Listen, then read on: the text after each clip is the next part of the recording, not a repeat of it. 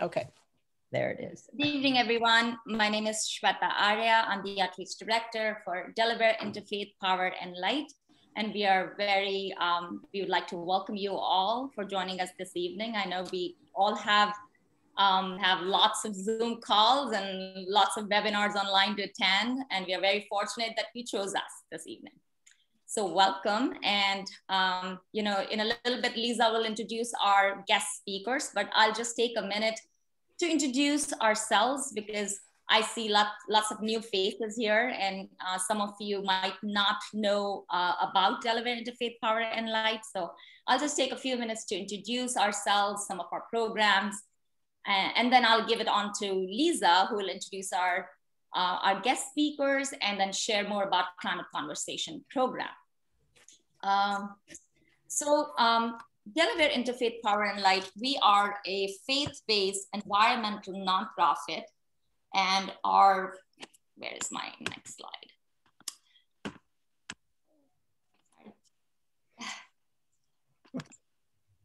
And our mission is to work with, um, um, is to inspire and mobilize people of faith and, and our community partners to um, you know, take a bold and just action on climate change. You know, we believe that um, climate change is the biggest um, public health emergency and it is the biggest humanitarian crisis right now we are dealing in. So we really um, want to share the urgency of the situation and we want to get people together to act on climate change. So we work with our uh, interfaith partners um, and our community partners. Um, and there are a few ways um, we help address the situation. So we have some very practical and tangible programs um, like uh, climate conversation, um, our faith efficiency audits, uh, which I'll just touch on a little bit. So we have programs in place. Then we have educational opportunities like climate conversation and our webinars. So we inform people about why it is important to act on climate change.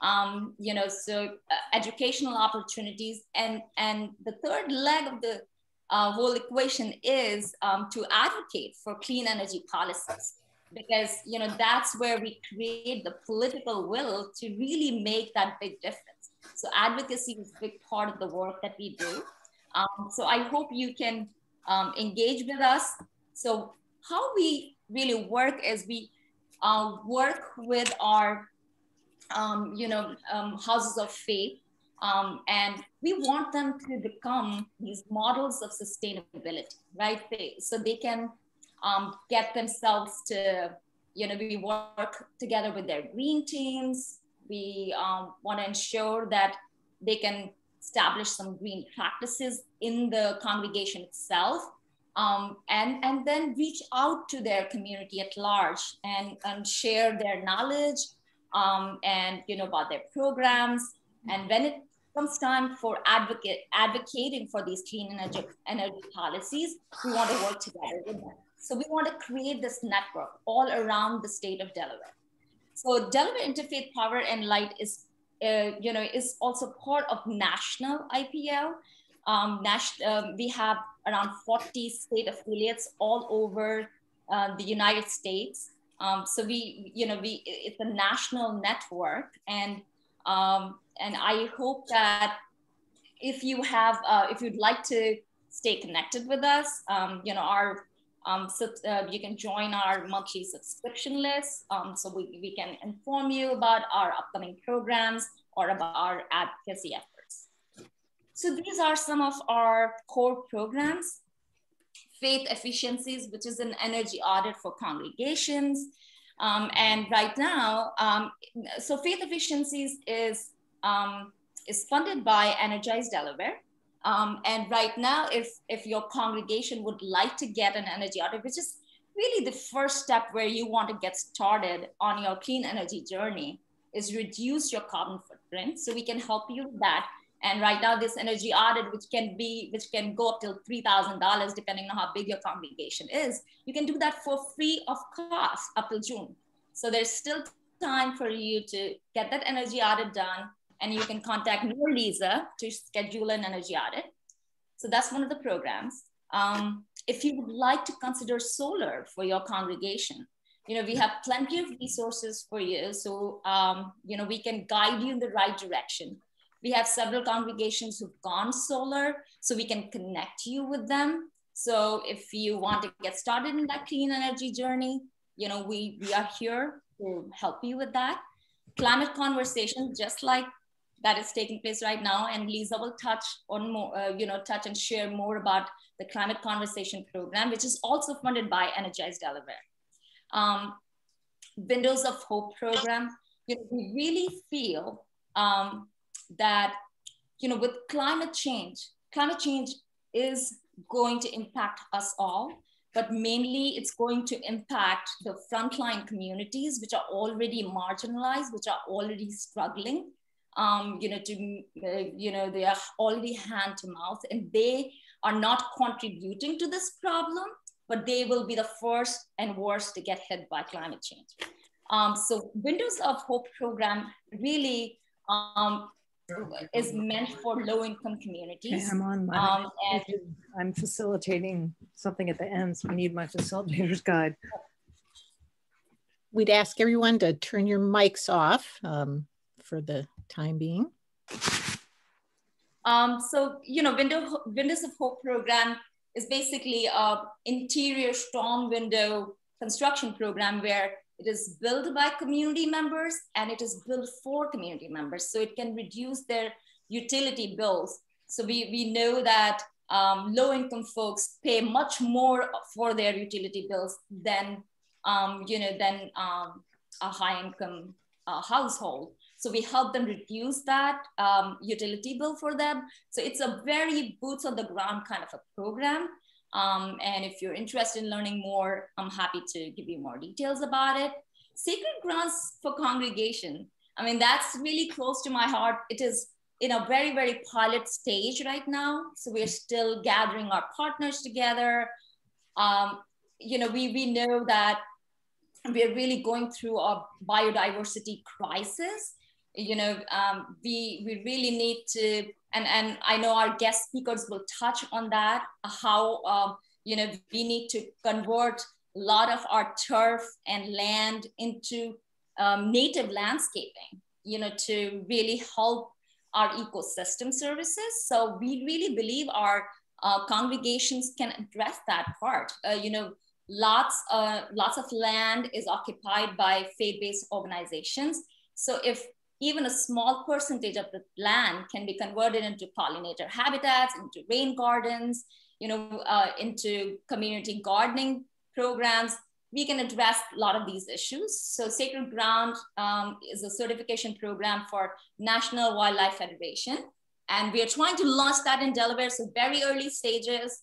Um, but if you're interested in that program, you can contact me about that and how do we address climate change without involving our youth? So um, we uh, started kickstarted this youth climate initiative last year um, which is also a spill-off of climate conversation. So we have brought together some of the campuses um, and high schools together.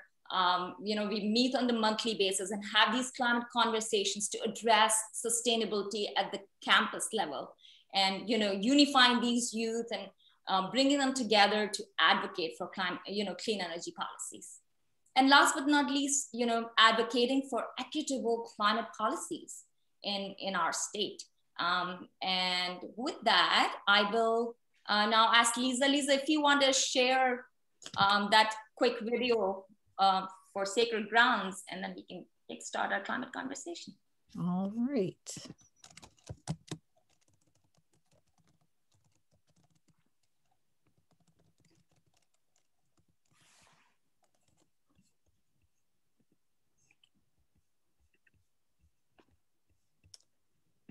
Okay, let's see if I can do this.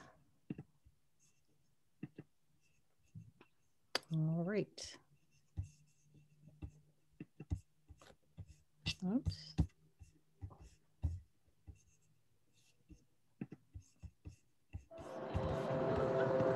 Let's see.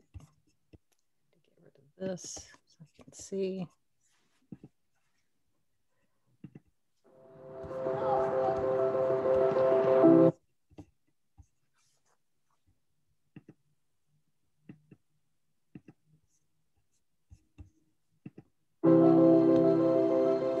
Praying and I was asking the Lord, what, what was I supposed to be doing in this community?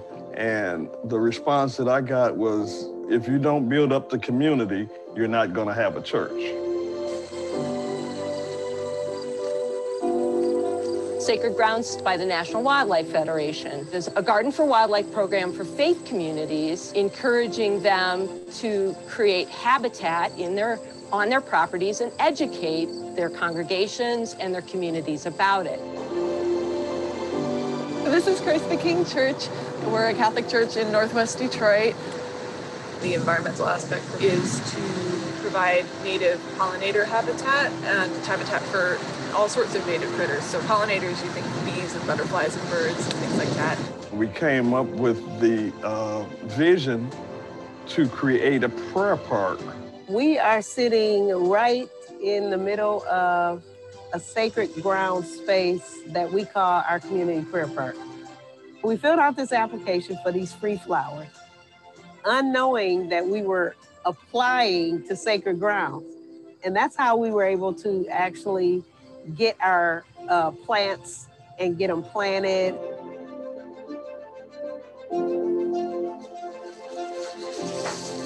So here's our plans for our labyrinth area. Uh, we've been working with uh, National Wildlife Federation, but we'd like to do this in the fall and then hopefully in the spring rearrange these grasses and this area over here. This is Meditation Missionary Baptist Church, and the Hope House is our community outreach project. What we're doing is we're clearing out up to this point, and we're gonna we're gonna dig it out all the way down, probably 100 and 150 feet, and plant all all of our flowers. The idea is there's basic tenets. You have to reach beyond your faith community into the community at large and encourage them to participate in these best practices.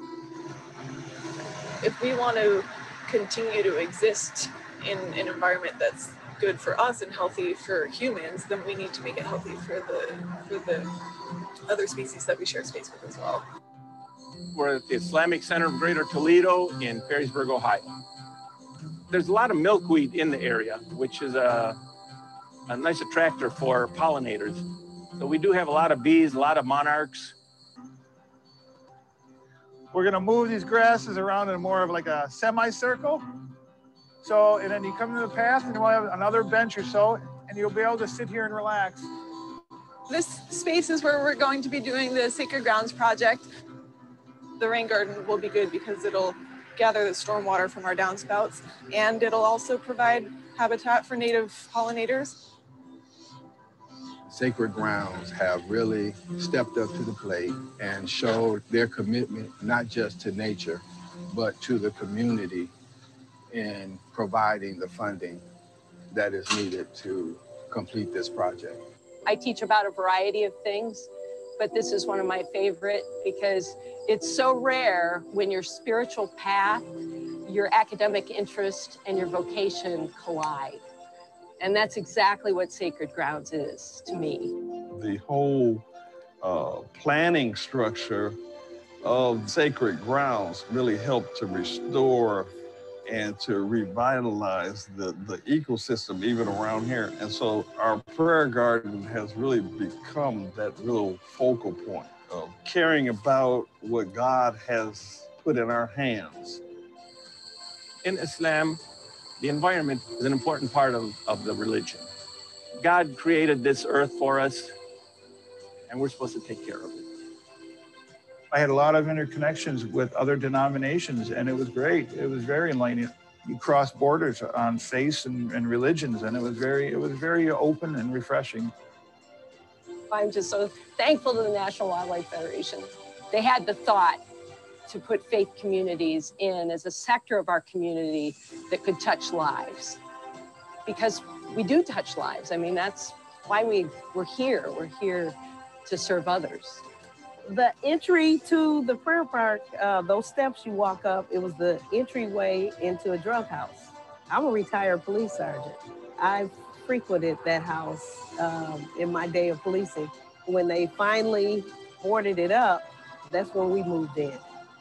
So before, when I walked up those steps, it was a sense of uh, of rage, a sense of sadness, and now when I walk up those steps, it's a sense of peace, restoration, and hope. I've had other people come ask me, how can I do this on my street? And so it's catching, it's catching on.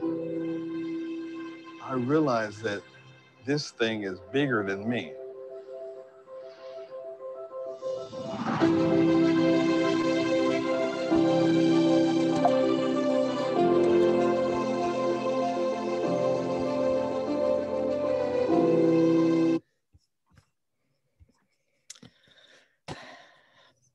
That was inspiring. so I am I'm Lisa Locke and I'm the director of programs for Delaware Interfaith Power and Light, and um, really pleased to welcome you to share this climate conversation with us. Um, this is a wonderful program, as Shweta said, funded by Energize Delaware. They're an important organization for you to know about. They are a 501c3. Uh, they were created by our General Assembly to manage the energy funds that come into the state. So that's millions of dollars. And they use that money to put into programs to support energy efficiency, um, renewable energy projects in commercial, residential, farming, faith communities, schools, all the different sectors. Um, so we and we manage um, two of their programs the one for the energy audits for faith communities and then the the climate conversations so we've been doing this for about two years now. And the idea of climate conversations is to bring people together in safe and respectful settings so that they can share candidly and openly their perceptions of climate change, their confusions, their concerns, their fears, their hopes, and then to find those areas of common ground where we can work together to address those, those concerns. And to date, we've done around almost 30 of them, engaging over 900 people around the state. So it's been pretty cool, whether it's library groups or schools or faith communities or community centers. So this is something that if any of you are interested in being a host with us, a co-hosting, we would love to do that with you. As Shweta said, also out of this, we started the Delaware Intercampus Climate Coalition, which is very cool. So this is um, the college campuses throughout the state and some high schools. And we've been meeting on a monthly basis, doing our own climate conversations together, bringing the campuses together. Um, so we're very excited about that program and making intergenerational programs. So, um, so you're going to be part of a climate conversation today. So some of you have been in these before, but um, but others, this will be new, and I will uh, we'll be going to small groups a little later, and I'll give you a little heads up uh, when we get to that point. But right now, I really want to welcome Jen and Blake, and so appreciative of them joining us tonight. Um, this is really exciting. Um, let's see here. Let me introduce them a little bit. Uh, you may have seen their bios already, but Jen Volk is the Associate Director of the University of Delaware's Cooperative Extension and she's also an environmental quality extension specialist. She received both her undergraduate degree in chemistry and graduate degree in marine studies from the University of Delaware. She, and then following grad school, she worked at the Delaware Department of Natural Resources and Environmental Control in their watershed, watershed assessment section as an environmental specialist, scientist. At UD, Jennifer continues her work on environmental issues in Delaware and the region, but has also broadened it to include climate change impacts and responses. So she serves on UD's as a UD liaison to the Northeast Climate Hub's University Partnership Network, where she coordinates with other research and extension professionals in the region on climate change initiatives. Blake Moore who, um, as he says, is a longtime lover of the outdoors, pursued his bachelor's in natural resources management from UD also. Um, he began working in the private environmental consulting sector and then after graduation moved to state service in agriculture and national resources. He's currently a horticulture and natural resources extension agent with the UD Cooperative Extension, where he's working with citizens to provide education and outreach on environmental and natural resource conservation. And he's the state program coordinator for the new Delaware Master Naturalist Program, which has the potential to create strong networks of volunteers and organizations with the distinct goal of helping provide a better world for Delaware. So we're so excited to have them. Jen and Blake, take it away. Thank you so much, Lisa and Shweta, for the invitation. I know Blake and I are very excited to be here with everyone tonight. And, and we're looking forward to sharing what we know about some of the benefits, um, climate benefits that our natural and working lands offer. And so I thought that video that you showed, I was looking at urban green spaces all over the place. So Blake's gonna be talking about that in a few minutes. So before we share our screen and get into our presentation, uh, Shweta's prepared um, a poll, and I know either she or Lisa is gonna launch that. So we wanna just kind of get a sense of who's here first and what your um, relationship is to the land. So the first poll question I haven't seen it launch yet, but I'll, I'll let you know when I do. I was going to ask you if you own or manage land. And then the second one, here it is, is, um, is so if you answer yes, then please tell us how many acres about you manage. And, um, you know, I'll let you know. So I, I live in a neighborhood in Smyrna. I have probably about an eighth of an acre and I'm still paying a mortgage, but I consider that managing the land. That's my property that I'm taking care of. So I would click off yes and less than 0.25 acres.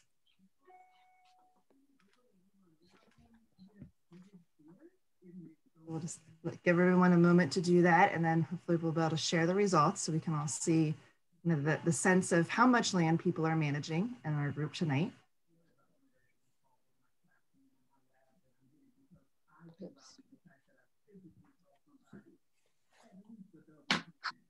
Should I end the poll now? Uh. Yeah, I didn't fill it out myself. So you maybe if everyone else did, you'd have 19 or roughly, I'd say if you have more than 15, that, that's pretty much everybody, including those of us organizing. Then are you able to share the results? Yeah. Okay, so 94% do own or manage the land. And so for those of you who don't, I still think you're going to get something out of this presentation because there are other groups and organizations that you could work with where you could have some influence on how land around you is managed. So maybe you have um, a, a, some sort of HOA, if you're even in an um, apartment or condo type of complex, they have land around them. So you could be influential with that. Um, or, or just the, in your communities too. Um, and so for most folks, it looks like, again, most folks are like me, you have small little properties, but we have a couple people who do have larger amounts. And I know I saw in the chat, I think it was Margaret or Maggie. Um, yep, Margaret Moore. She's got 24 acres in Pennsylvania. So um, there's a couple people out there who have a lot of land to manage. So hopefully you'll get something interesting out of this presentation tonight. So I have a little bit to add. I have to add a little bit too, Jen.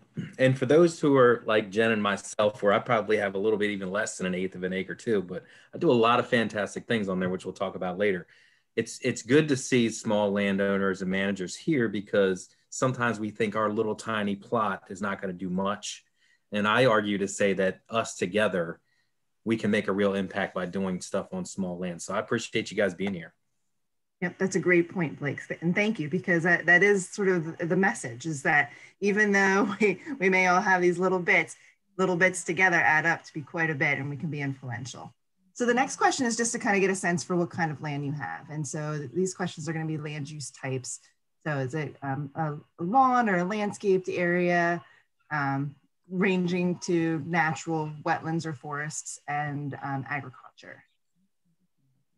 And Shweta is working on getting that launched as well. Did my poll go? Doing great. I'm glad you're doing it and not me. me too.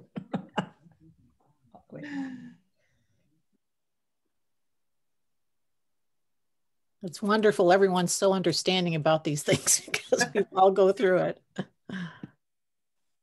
Let's see. Normally, in this type of this this this little bit, you have a dog barking in the background, or Jen's supposed to sing or something like that to take up time, right? Isn't that what's supposed to could all get up and do a tree pose. So she's ready. Good. Uh, all right. All right, get your stretching in. Would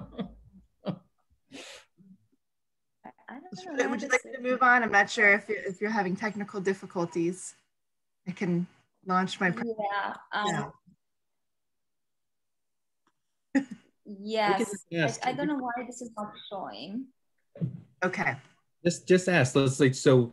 I mean, it, it- like, do you have forests? Is most people just a yard, meadows? What type of things? Just go ahead and throw that in the chat. Yep, you can put it in the chat and then and Blake can monitor that while I kind of get things started. Renee's got some hand, she's got some trees, I think. Great. Okay, so let's go ahead and do that. Share in the chat and we'll we'll move on.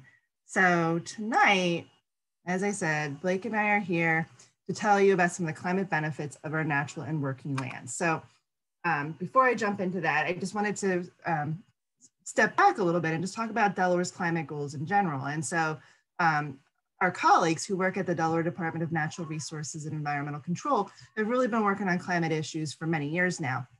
They've done a lot of sea level rise planning, and now they're working on uh, looking forward into different, uh, different climate scenarios. So they really want to try to maximize our resiliency to the changing climate. So that means we're going to be able to adapt and deal with the changes that are coming, but they're also trying to do some of that. Can impact. I, Jennifer? Yes. Can I interrupt you? Can I launch the poll? Would you like me to You launch the poll now? go or not? ahead. Sure. There we go. So the, the choices that we've provided you are lawn and landscaped areas, natural meadows and grasses, wetlands, forests, or cropland. So we'll talk about some of these land use types um, in a few minutes. Do raised beds cost, are, are raised beds counting as uh, cropland? Good question. Hmm. I'm going to say I'd probably put that more into lawn and landscaped areas, but I'll let you judge. yeah, they're not lawn and they're not landscape. So it is, you're, you're growing vegetables and, and maybe herbs. All right, Shweta, when you think you have enough responses, and we'll look at the results. Okay.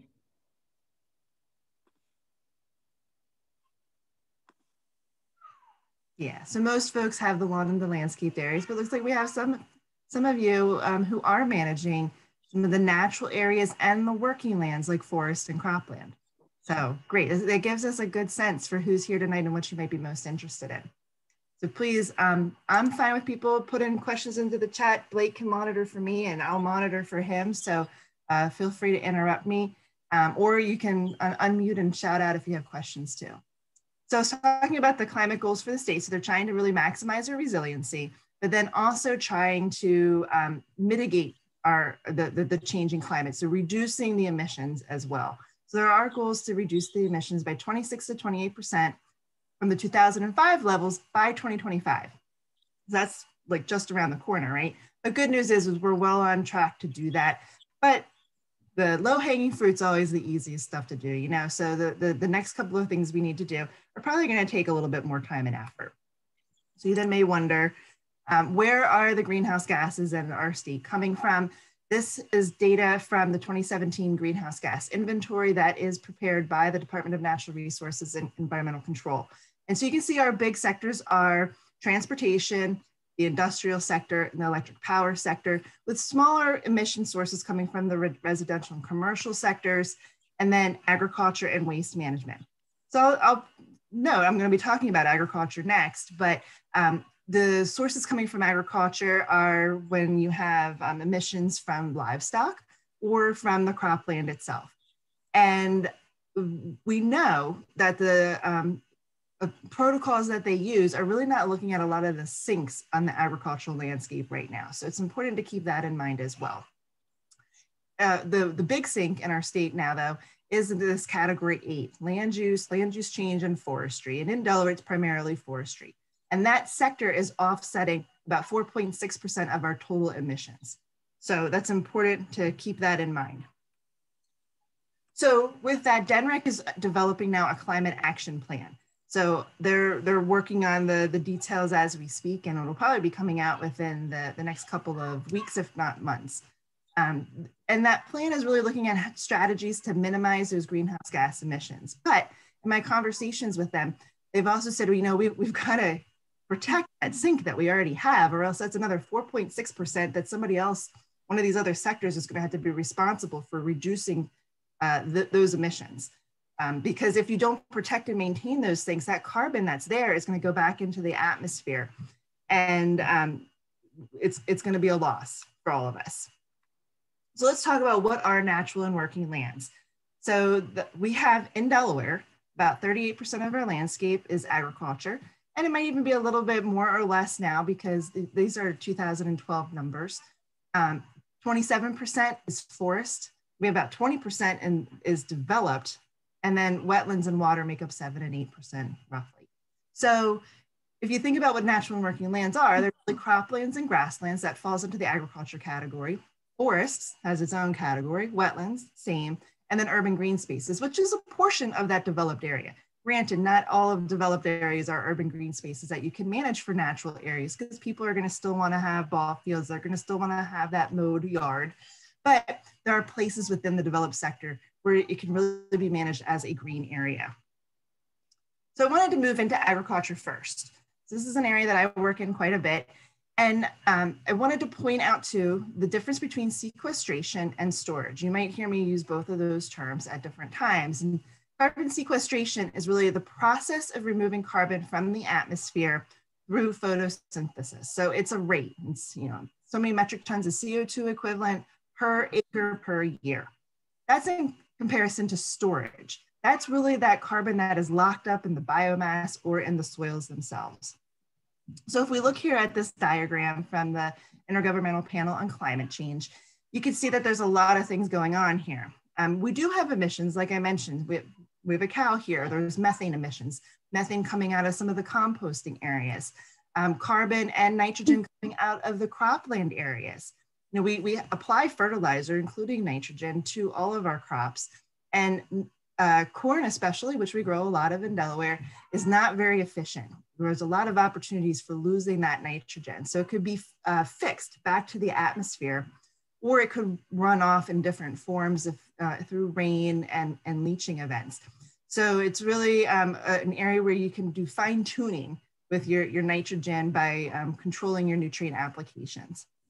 We can also see that we have crops here. I talked about sequestration and photosynthesis. So in an agricultural landscape, there are definitely plants. Some of those plants are annuals, then they, they are harvested. Um, sometimes, depending on what your crop you're growing is, it might be a perennial, it might be something that's there for more years, which is gonna have more of that woody biomass. And then there's a lot of conservation practices.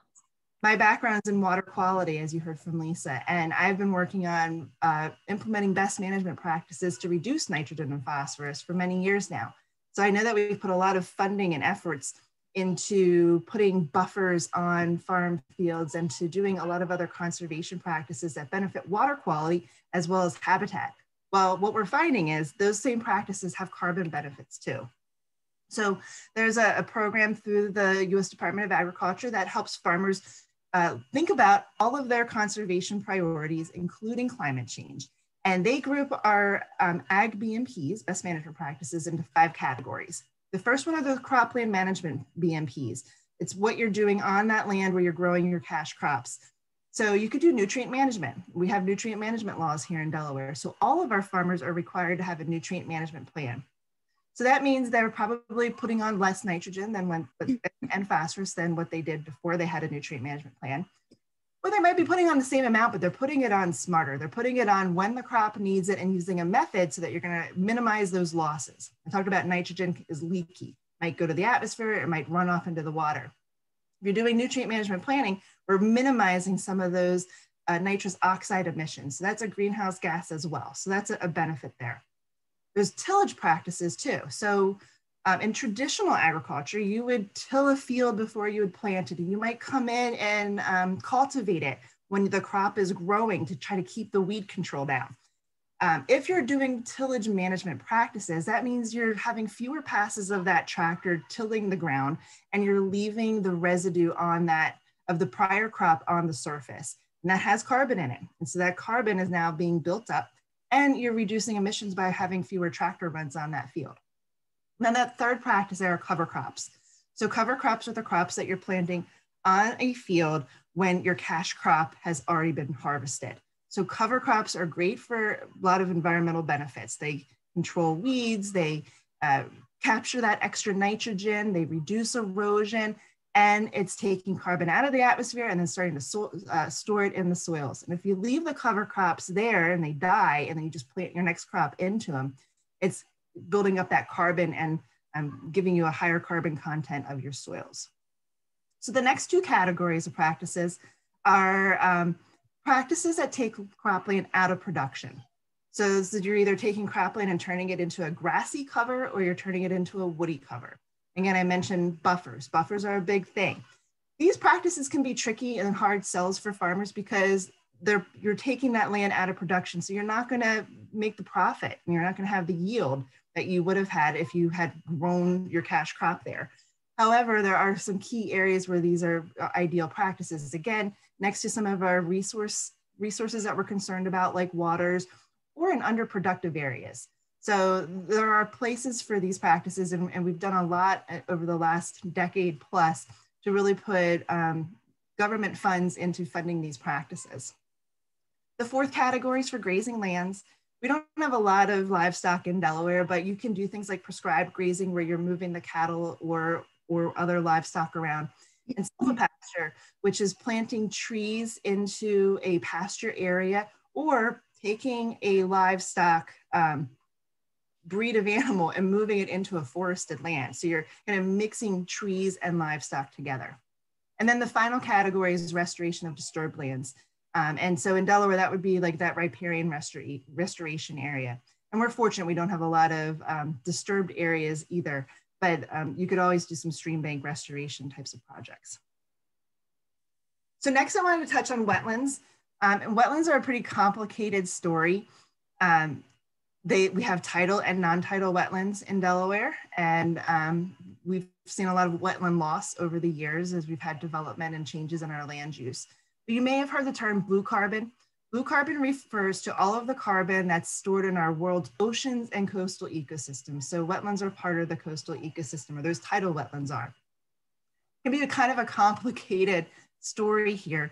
Um, and the tidal or non-tidal wetlands, sorry, in some cases, may end up being sources of carbon uh, at certain times of year and, and um, depending on how that wetland area is being managed. So the um, methods to quantify the benefits from these practices are really still under development, but the, the, the feeling is, is that collectively in total, uh, wetlands are a great place for storing carbon.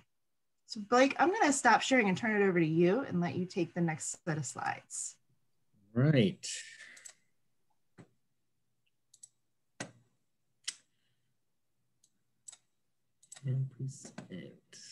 Okay. And this is where we left off, right? Yeah, okay. All right, so I'm going to talk a little bit more about uh, forested natural and working lands and then some of the things we can do either around our home or uh, in open space and, and things like that.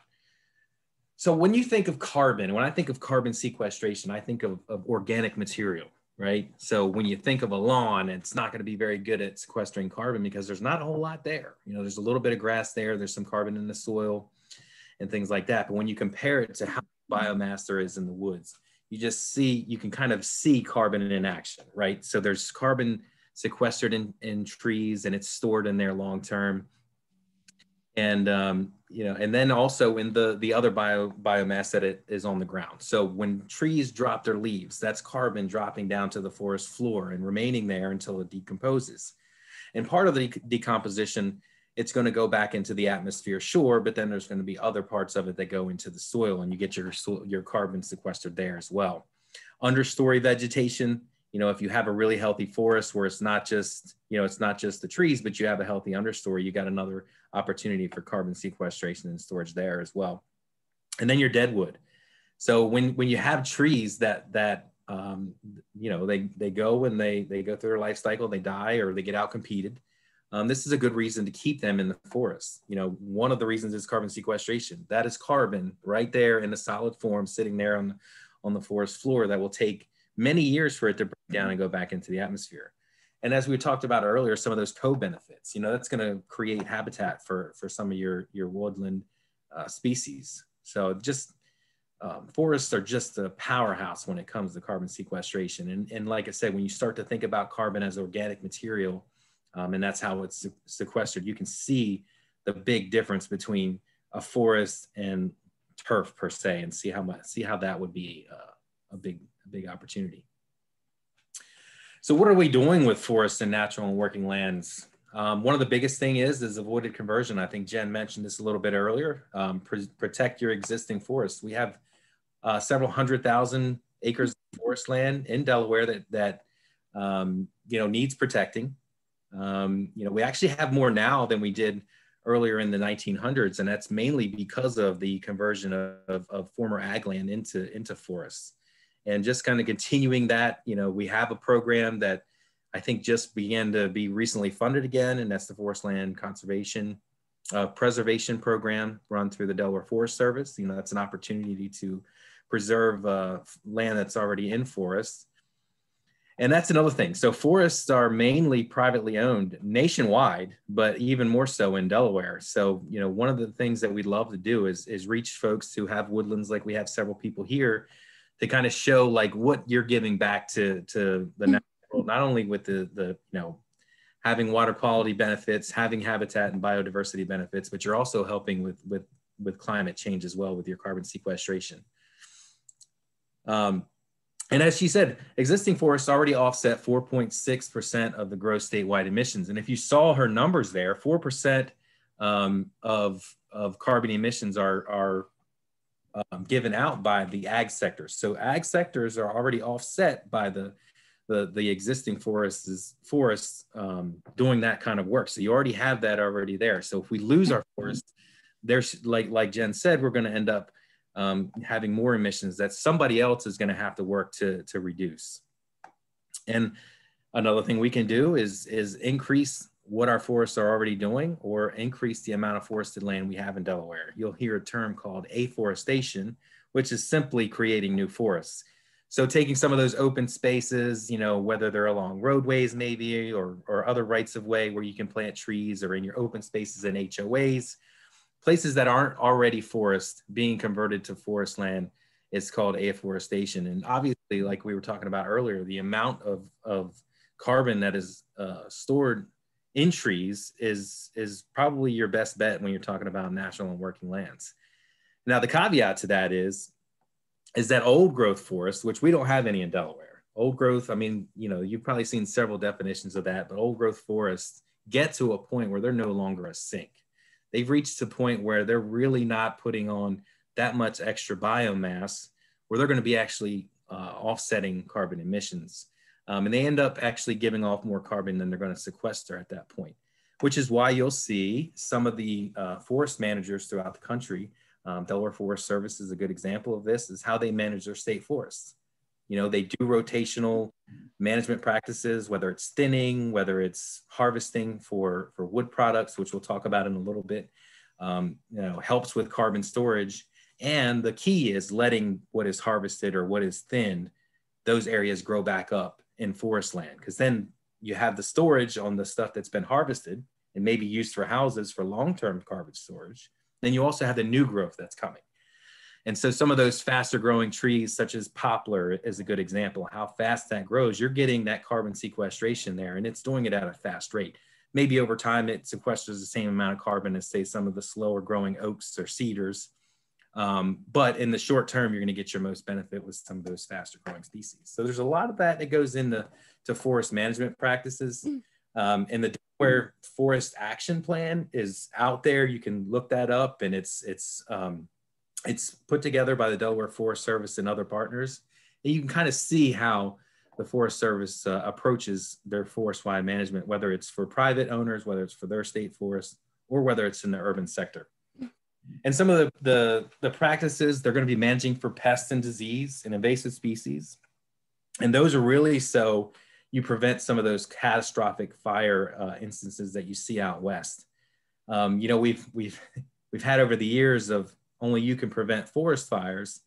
and it's good that that we're we're being careful in those areas, but our our forest management has not included a lot of prescribed fire over time, and that's that what that does is you get a, an increased amount of, of biomass. So yeah, you're storing extra carbon with that, but then you have those more catastrophic wildfires that you see that we've been experiencing lately, and then that's just this big influx of carbon back into the atmosphere that that that's just not it's not good and and it can't be mm-hmm. you know, it's kind of like a, a smokestack giving carbon directly back in there. So it's it's one of those things where if if forest management practices are put in place to, you know, thin out some of the the areas that are too heavy, have prescribed fires every so often, make it so that carbon is more slowly released in some areas, and also you'll get those um, you know, prescribed burns what may promote some understory growth as well. So there's a lot that goes into forest management that not only helps biodiversity and habitat, but um, you know, climate as well.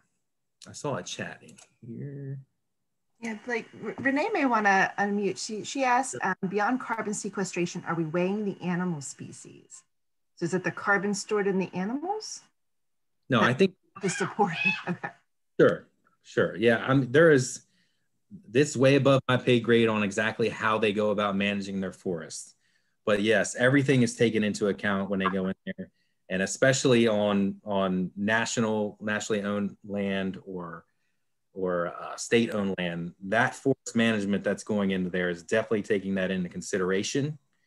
And also, any private landowner who enters into a forest management plan with, say, the Delaware Forest Service, they're going to be paying particular attention to that. Now, when a private landowner, uh, if they wanted to clear cut their land and there's you know, I don't know what what's going into that decision there. Um, that's that's the key of us getting the education and outreach out to those those folks. Is that kind of what you were you were getting at there?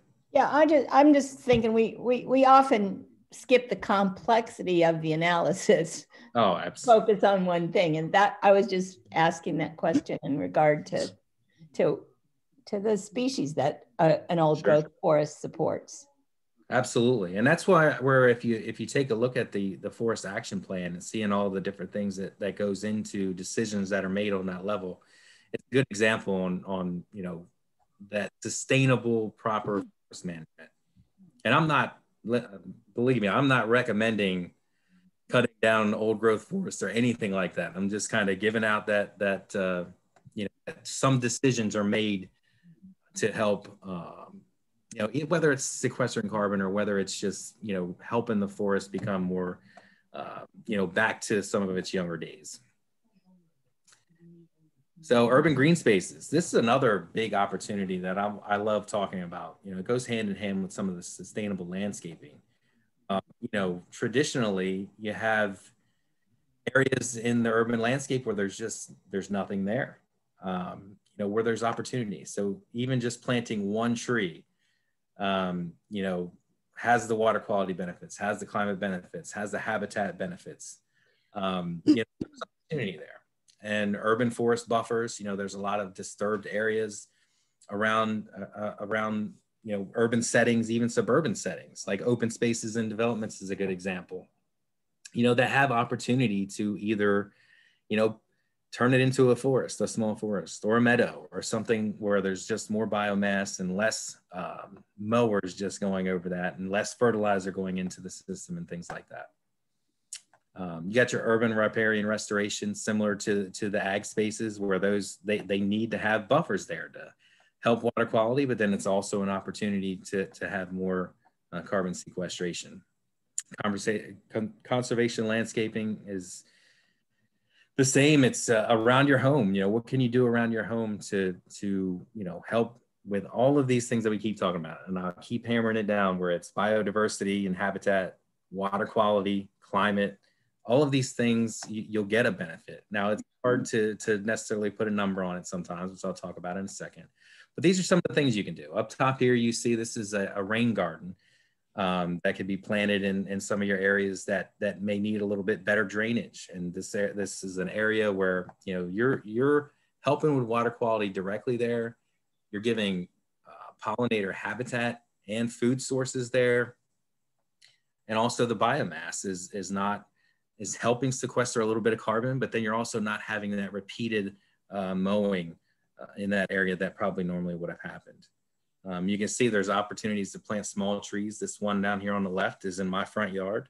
I planted it um, probably, let's say about six years ago now, and it looked like the, the Charlie Brown Christmas tree. And this is what it's turned into. You know, it's done a pretty good job in the front yard there. And, you know, when it's looking like this in the spring, which it's about to in probably like, I'd say a week or two, this is an Eastern redbud, um, be covered in, in pollinator, pollinators. So it's good early, uh, early source of that. But again, it's also you know giving a small amount of carbon sequestration there. So it's just an opportunity that if one person does it and then 10 people do it then 100 you know it, it, can grow over time. So just because you know you think you have a small area just just putting in in that type of effort can can add end up adding up in the long term. So what are some of the goals that that are, are in the nat- natural and working lands um, sector um, you know, obviously maintain in, and increase funding for implementation and preservation. You know, preservation is huge. You know, it's it's it helps protect against losing uh, lots of forest land to development, um, and it's also you know most of these preservation programs, and Delaware is definitely one. They have to have that forest management plan in there, so that maintenance will be involved in it as well. So it should be a healthy forest. Um, improve tracking and reporting of all practices and land uses. This is this is probably one of the more difficult things to do because this is what we want um, to find a baseline of where we are right now. Like what what are our current forests holding as far as as carbon is concerned, and and you know what are the benefits that we're going to be receiving if we change practices or we do um, you know if afforestation if we're able to do some more acres of planting forests and things like that. You know, that's one of the biggest biggest issues that we've been running into now to know exactly what we're doing and what benefits we're getting. And it, that's to that point as well, research to quantify the benefits from all practices.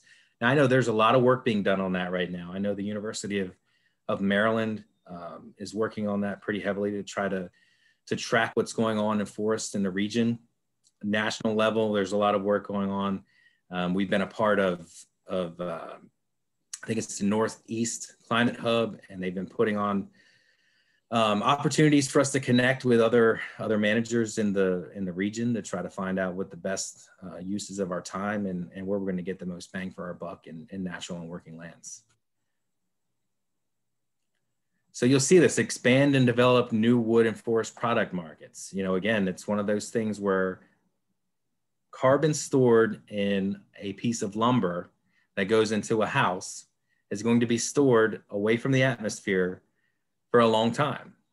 And so, one of the things that I've seen um, that they're working on in some urban settings is kind of using more wood instead of some of the uh, the steel that's normally used, and it's just just to keep that carbon stored. And again, this has got to be done with sound forest management practices. You know, I'm not advocating for clear cutting or doing anything like that, but just being able to have those that carbon stored long term will help us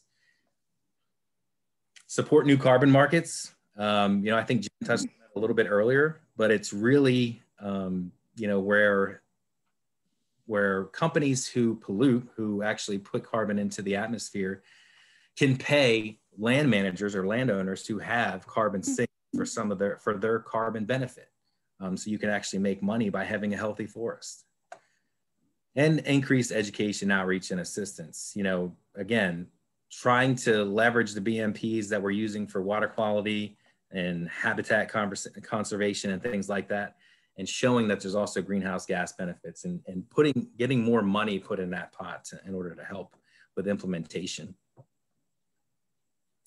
again we've we, i keep wanting to hammer this home that we're talking about climate change and natural and working lands and sequestering carbon.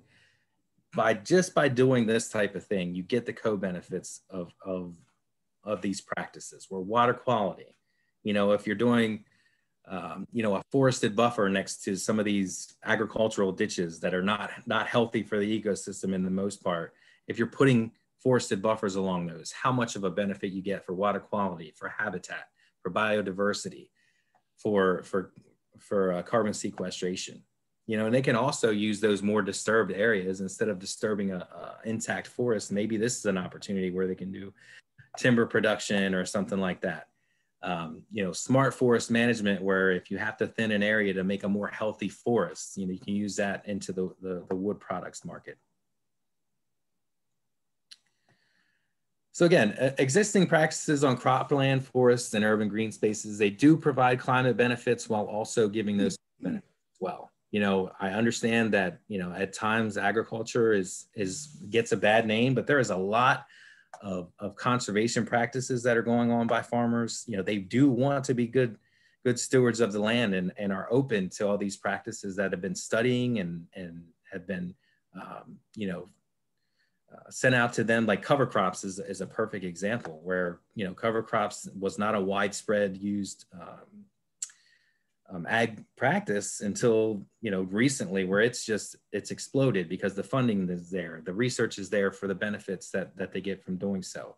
You know they're willing and able but you know they also have to be able to to, to provide food for everyone as well. So it's, it's us helping uh, helping them expand their their conservation efforts. It's kind of one of the things that jen and i do a lot of work on.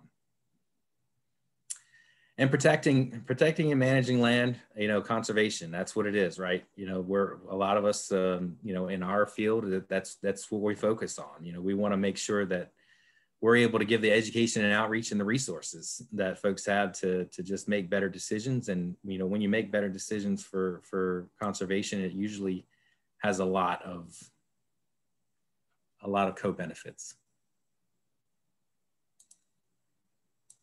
All right, I think that is all. And Jen, do you have anything to add that I missed? No, I think you did a great. Lisa, right, do we have any questions? Renee, what's WHL? oh, you're muted. Those were the initials on the last slide, and and it's working land something, right, or oh, whatever. the initials? I'm always like, why can't people just say what they mean instead of giving me initials? anyway. We have help, an old, help an old growth person out.